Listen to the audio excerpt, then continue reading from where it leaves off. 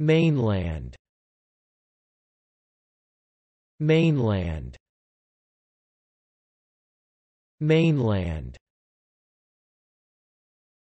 Noun Definition a large continuous extent of land that includes the greater part of a country or territory, as opposed to offshore islands and detached territories. Example, the mainland of Europe. Thanks for watching this video. Be sure to subscribe to our channel to get more free learning resources.